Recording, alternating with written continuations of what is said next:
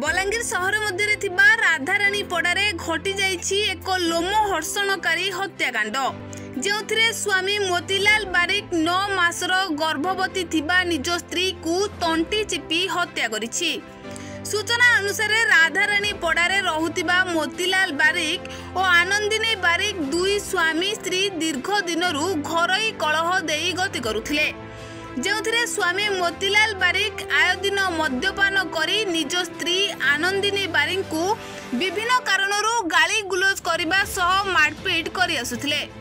ଯାହା ଗତ ବିଳମ୍ବିତ ରାତିରେ ତାହା ଉଗ୍ର ରୂପ ନେବା ସହ ସ୍ତ୍ରୀ ଆନନ୍ଦିନୀ ବାରିକଙ୍କ ତଣ୍ଟି ଚିପି ହତ୍ୟାକାଣ୍ଡ ଭିଆଇଥିଲା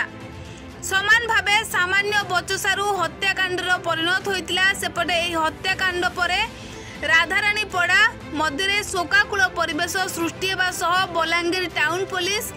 ଘଟଣାସ୍ଥଳରୁ ହତ୍ୟାକାରୀ ମୋତିଲାଲ ବାରିକକୁ ଅଟକ ରଖି ତଦନ୍ତ ଜାରି ରଖିଛି ଅନ୍ୟପଟେ ମୃତ ନଅ ମାସର ଗର୍ଭବତୀ ଆନନ୍ଦିନୀ ବାରିକକୁ ଶବ ବ୍ୟବଚ୍ଛେଦ ପାଇଁ ବଲାଙ୍ଗୀର ଭୀମଭୋଇ ମେଡିକାଲ ଶବାଗାରକୁ ପଠାଇଛି ତେବେ ଏହି ଘଡ଼ିସନ୍ଧି ମୁହୂର୍ତ୍ତରେ ଲୋକେ ମହାମାରୀ କରୋନା ଭାଇରସରୁ ବଞ୍ଚିବା ପାଇଁ କଡ଼ାକଡ଼ି ମୁକାବିଲା ଜାରି ରଖିଥିବା ବେଳେ ঘরোই হিংসাকাণ্ড যোগু দুই দুইটি বহু মূল্যবান জীবন জীবাত চাঞ্চল্য সৃষ্টি করেছি এই হৃদয় বিদারক হত্যাকাণ্ডকু নেই এবে শহর মধ্যে চর্চা জোর ধরেছি তোমার নাটাই কত কেন পড়া গাঁটা সুড্ডা এটা রহুছি ভরা কানা ঘটনা ঘটলা কানা হইতিলা এটা মোর কইছে আয়া পিটি পিটি মারি দিছি কা কে পিটি পিটিছন কে পিটি পিটিছন আমার তার স্বামী নিজে তার স্ত্রী কে পিটিছি হ্যাঁ তুমি তাকর কান লাগবো তুমি তাকর কান লাগবো দাদা କେନ୍ କାରଣ କେ ନେଇକରି ଏଇଟା ଝଡ଼ା ହେଇଥିଲା ଆଜ୍ଞା ସବୁଦିନ ଚାଲିଛେ ତ ମଦ ପାନ୍ ପିଇକି ସବୁଦିନ ଝଗଡ଼ା କରୁଛେ ଆଜ୍ଞା ମୋର ଡେଲି ଡାକିଛି ଆମର ଭଉଣୀ ମୋତେ ଦେଖିବା ତ କେନ୍ତା ଟୁଟୁଛି ମାରୁଛି ପତର ଲଗଉଛି ବୋଲି ଡାକିଛି ଆମର ଦୋକାନକେ ଡେଲି କାଲି କେତେବେଳେ ଘଟଣା ଏଇଟା କାଲି